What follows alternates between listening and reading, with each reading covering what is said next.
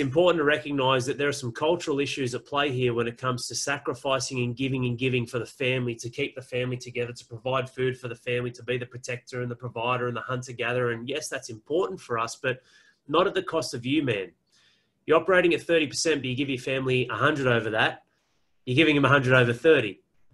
Let's spin that. Don't be so selfish that you're giving them a lesser version of you. How about you invest in yourself first so you can give them more? Everyone wins. And that's what today's about. So, welcome to another podcast episode of Real Dad Movement. This is Al, obviously. And what we're diving into today is valuing yourself in a nice little formula that I've put together the four C's of evolution. But, but first and foremost, this is something that took me so many years to come to, to come to grips with. Being heavily overweight and obese when I was younger was something where I'm spitting in the mirror at myself, hating myself. My brother's nicknaming me KFC as well as getting bullied in playgrounds. No girls obviously liking me at all and feeling like my life's just turned to shit because there's no value or significance in it as a teenager, hormonally changing and spending between the years of 8 to 17 some really tough periods where I used food as, as a gluttonous escape, which obviously I didn't enjoy either. I found lots of periods where I just hated myself. I hated all these periods and portions of my life that made up who Alex Ranieri was when you flip that on, on its head or you, or you look at the other side of the same coin, you recognize that what that meant was I didn't love myself. It's pretty simple to work that out. Valuing yourself is, is not some egotistical thing where the whole tall poppy syndrome culture of Australia and many parts of the world cuts you down to size because who are you to to have this level of belief or how arrogant or X, Y, and Z? Fuck that. That's on them. This is your life, man. This is your world. You should love yourself. You should value yourself because when you win and it's done out of light of, of love for yourself and expansion and growth, one, you'll have no regrets. They can't coexist. You can't grow and have res- regrets at the same time. Doesn't happen, can't exist. But two, everyone around you gets a better version anyway. The people you care about most. I'm about to have my third child. My son's about to come into this world, and I know by investing myself by getting up at four o'clock this morning to train and nourish my body the right way, that I can go home earlier to my children, my two girls, and spend time with them, as well as invest in me, have a better temperament, a better nature when I'm going home to a preoccupied environment in my family. Like that's their that's their environment, not mine. I pay the bills, but I'm entering a preoccupied environment. I can't bring shackles and shit through the through the door with me of what my day is entailed. I work on myself first. I don't get up at 4 a.m. every day, and sometimes I used to get up earlier. It's not about the grind and the hustle to make it in life. That's bullshit as well. It's about aligning with the values of yourself and what that means in valuing yourself. Like, who do you want to be in this world? Why is that important? Your identity and the identity cycle of who you are off the back of your emotions, your belief patterns, your thoughts, and your feelings and, and your actions still doesn't create who you are. They're simply moments in time. You have the awareness, the ability to pull back and recognize and view that, which means who's this person? That's who you are as whoever you choose to be. I'm a collective of thousands and thousands of people and fathers and inter, you know, in integrating with them and their life, as well as the phone calls I have with these dads, reaching out, connecting, helping fathers in many different ways that make up the version of who you see today and now. That's it. Otherwise, who am I? We're all just blank canvases, which means you are the artist. You have the you have the paint to ultimately put whatever picture together that you want in your life. Now, we might have different sized canvases or different materials, but it's still you, man. It's still on you. Valuing yourself comes down to the ability to have the four C's of evolution clear in your life. I talk about this with the fathers in RDM in what I do in delivering value to the world. And, the four C's are communication, context, comprehension, and connection. See, see, life is connection. And when you look at this, you start to recognize that really the connection is a series of different forms of energy coming together. How you connect with your family, with your wife, with your children, with your workforce, with your colleagues, but with yourself. When you're looking at the circles of significance, like there's only three things that exist in your life family, self, and service. You start to see this pattern where you've got yourself at the top, the big circle, and you've got family and service either side, and that gets bigger and bigger and bigger. And all of a sudden, that covers the circle of self. You don't even know who you are you're trying to keep your family together, your, your family and your relationships with your children, your energy for yourself, your energy for your wife. And ultimately, a lot of this comes down to your communication skills and how you can really articulate a message of where you're at, what you're doing, what you're experiencing, and having that level of truth and vulnerability to be transparent in who you are and what you're doing. It's not easy. Like I can pull the walls down and be vulnerable and transparent, but also with communicating, there's got to be a point to it. And it's got to be with an audience that understands, and it's got to have that ability to then finally connect to move forward. It's why so many people, these phone calls that I have with these fathers, Al, you're hitting the nail on the head on so many things in my life. It's because it's what we live and breathe every single day. The patterns are very similar. You might have a different name, but the patterns are very, very similar. So when we look at this as a man in the modern world, it comes down to not just what I can do, and I want to share my four C's with you, I can communicate, I can write, I can speak, I can talk, all of it. And I love doing this. Communication is very important. It's very powerful. Body language, all of this. That's an expression of energy. But what the fuck's the point out? Like, there's got to be a point to what you do. That's context, the second C. And I always ask myself this with everything. Like, none of us have time to fuck around. None of us. We don't have time to lose. A 20 year old pumping biceps and triceps in the gym doesn't have time to waste. He just doesn't realize it at the time being a little bit older, a little bit wiser, if you're watching or listening to this now and, and almost certainly getting closer already in the second half of life, you're beginning to realize that, wow, life is just a flash in the pan. And then you start to understand that time, whilst it technically doesn't exist, it's a construct we've created, the rhythms and the cycles of the universe and what we live and breathe just passes. It's a flash, it's a flash, it's a flash. And when you don't have a point to something, you're wasting time and it's time you'll never get back. And not just that, yes, your energy will rejuvenate, but the energy that you're expressing expressing is bundled with that time that you'll never get back, which means you'll never get that form of energy back as well. Communication, context. Fuck out, what's the point? What's the point? What's the purpose? What are we trying to achieve? I ask three questions every single day of myself as a man, as a father, as a husband, and as someone providing value and service to other fathers all over the country. What's the point now? What the fuck's the point of doing this podcast right here and now? The point of this is to connect and bring value to your life to help you initiate change and shift your perspective over valuing yourself instead of self sabotaging and pulling away to the lesser version of who you continue to become. Having that empowerment, not rocky videos on YouTube to pump you up, having that realization deeply internally. Comprehension is the third one, the third C. Like, do they understand? Are you positioning your communication, your context in a way that's delivering value so they understand and the right people? Like in RDM, I'm not talking about, you know, booty programs and, and how you can create these amazing, you know, carb or fat free macadamia cookies for the family as, as, as a stay at home baking mum. It's just fathers in the real world. A lot of you fathers are very driven and internally driven men. It's just you don't know where to harness your energy or your power to move forward in the right line or you're exhausted. You spend so much of your time, effort, and energy in investing in something that ultimately may yield a return or reward, but it's coming at the cost of you. Do they understand your point out? Is there a level of understanding? Which brings us to the fourth C, which is connection. Connection is so powerful. Like there may be dads out there that want to punch me in the face. I don't care. Like it's not about that. It's about me connecting with what I want in my life too. The environment of RDM and those who connect with me are part of my life as well and I want to enjoy my life. I'm spending a large portion, my children are home right now. I'm spending a large portion of my time here and now delivering value to men and fathers all over the country that I want to connect with, that I want to deliver value with. That's why I'm giving this away for free. Like you can have this, take it, it's yours. Send me send me a direct message, and if you want the uh, the identity cycle ebook, which is the entire course, the ebook, the videos, um, the coaching videos, as well as the audio books, mate, happy to give it to you guys. It, it, it's not about you know, secrecy. It's about opening up and saying, these are the men and fathers I want to bring into my world as well, because we can see eye to eye on the vision and the exact moment where we can create a change in our life in valuing ourselves so that everyone else wins, so that we're living life on our terms more often than not. So we don't fall down that path and that rabbit hole of regret, which is something we'll never get back, which sits back on our deathbed going, fuck, I'm glad I, I drank more alcohol and watched more TV when I was younger. No, no, no. People regret the things they didn't do they don't reminisce about the things that no longer matter. Having that connection is very important to me. And, and this is what I talk about the four C's of evolution, transformation, change, whatever you want to tag it or align it with. But please understand all of these must be coupled with really moving your life forward by taking action. That's important. Taking action is paramount. The hard part is you might not know what action to take or where to go where to steer your own ship when you're going it alone or you're isolating yourself or you don't understand the thoughts and feelings and ultimately the patterns that create your life. This is what life is. It's a series of patterns. Now, moments whilst they won't define who you are, they'll certainly define the preconditioning of who you have been up until that point, which is going to dictate the thought processes, the decision making processes, and the actions you'll take with the circumstances and situation that you're facing right now.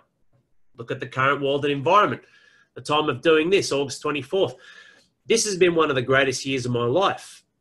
But the reason why it has been hasn't been to the detriment of other people. It's been a challenging year. But what 2020 has done is it's pulled back the curtain and it's showing the insides, what kind of stuff we're all made out of. Now, we've all got a list. We've all been through some pretty hard shit. But for me, there is no alternative. There is no plan B. My plan A is a life of optimism, finding a way. There aren't roadblocks in my life. There aren't, you know, failures. There are plenty of fuck ups. But what I'm saying is the language and terminology I use with myself. There aren't speed humps. They're processes. 50,000 dads need to see one of my ads for 10,000 a click, for 200 to go through the next page, for 20 to book in a call, for six to read a three page pre call guide to show me they're committed, to, to three to get on the phone. Like this, these are the numbers, and that's okay. These are stats and data that show the challenges that faces that fathers face in reaching out and, and standing up and, and wanting the change in their life, but also looking at that and going, life is full of processes. Getting up, setting an alarm at 4 a.m., making that a non negotiable by moving my level of value higher in taking time out for me first by packing my bags the night before, losing an extra 15 minutes sleep by planning my day, planning that work, and then working that plan. So far, it's executing quite well. I'll go home soon and shit might hit the fan. I might need to come in and just build that level of balance back in with the family. That's okay. It is what it is. I've had my time. I've had me time. I hope you're getting some value and takeaways from this. But what I really want to want to go through as, as we sort of look to, to wrap this up is asking yourself the question of, of the four C's of your life. How are you turning up for yourself? What is the level of communication? Because remember, your thoughts are you talking to yourself, talking with and to yourself. What, what am I saying to myself? What are the thoughts and feelings that I'm, that I'm really experiencing within me, that I'm allowing, that I'm aware of, that I'm communicating inside of me? How are you turning up for you? your thoughts, your feelings, your emotions, your belief patterns, your self esteem, your self worth, your self value. It's important to recognize that. That's the first step to empowerment. One of the greatest ways you can have that is by being still. We call it creating space. Stillness is very important and nature. It helps you connect with yourself. The world, which is you, will talk to you when you have that moment and period of just being still. Then you're like, ah, I can see where I'm creating these patterns where I'm just pulling myself down. I've got that self doubt. I've got that that lack of ability to rise up and, and see the true worth of who I am. We all have that. I've got little Al inside too. I call it little Al and big Al. Little Al pipes up and, and tries to tell me what to do. And I say, thank you for telling me what not to do. Now fuck off and get out of my life. But he's there all the time. He provides a valuable lesson for me. We all have that. What's the level of communication, your thoughts, your feelings, your words, what you're writing, your actions that you have with yourself? Now, when you see the good and the bad in that, ask yourself, what's the point of these? What's the point of me being optimistic and in every morning going, you know what, today's the day. I rise to win. I'm here to win. And at best, if I if I don't get on top and get in front, I'm still competitive. The RDM quadrant exist, survive, compete, and win. You're not here to exist. You're not here to survive either. You're here to win, which means at worst, at best, you're winning. At worst, you fall back to having a competitive day. You're moving forward. What's the point of having that right now, that power of mind, that power of thought and action? And then what's the point, context, of you talking yourself down? Nah, not today. I don't have time. It's too hard. I just can't do it. This is in front of me. I've got to do this first. I don't have time for this either. It's really hard. I'm tired. I just can't do it anymore. This just is what it is. You know, this can't this can't be it. This just is the way it is. No, no, no. It doesn't have to be, mate. Trust me we can all improve and get better, myself included. It's why we're here. I'm grateful for my life, but I'm also unsatisfied and going, if I remain this current version of Al, I'm stealing more time of someone I already am. Why the fuck would I do that? What's the value in that? Comprehension, packaging that together to, to understand. Okay, so I'm talking myself down here. There is no real point to that. Can I have a higher level of understanding inside myself to move forward? Understanding the great stuff. All right, cool I'm, I'm not going to journal every day and put my fingers together and meditate and do all this sort of stuff. What can I do to move forward? What's the point of that? And do I understand what I'm actually doing here? Like, is there a level of understanding with myself? If I move my body three times a week, if I walk every single day, you've got a thousand minutes a day, man. Like, if you wake up, you have seven hours of 20 minutes sleep every single night. Some of you probably have less if you're a father like me. Seven hours, 20 minutes leaves you with 1,000 minutes left for the rest of the day. Don't worry about this 24 hours bullshit. No one cares about it anymore. 86,000 seconds, that, that means nothing. It's too fast. 1,000 minutes. A lot can happen in a minute. What are you doing inside of yourself to neglect yourself where you're not even giving yourself 1% a day? That's 10 minutes. 1%. That's all you need. 1% a day to realign, communicate with yourself, have a better level of, of context. What's the point of what I'm doing with my work, with my family, self, and service? What am I doing here? What can I do to be better? Is there a level of understanding on what this will do, the pros and cons? You'll always have certainty. Uncertainty will fuck you up. That's no action. Certainty is action.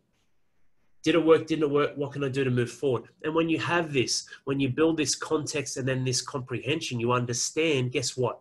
You're more connected with yourself and when you're more connected with yourself, this isn't voodoo spirits or science. There's a great middle ground in between, but it's bringing the point and purpose of communicating and understanding how much you can value yourself and then build actions into your life.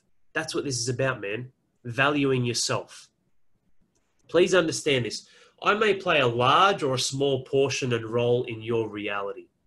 There's 8 billion realities around the world you know, there's not 8 billion versions of Al, but there's thousands of versions of who I represent, the people who see me and I come into their life.